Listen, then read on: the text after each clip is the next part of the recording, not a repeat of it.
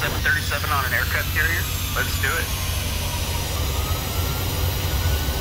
Come on, stop. Take two. Set the headwind at 15 knots and collected a small upcharge for better brakes. With room to spare, that should be extra.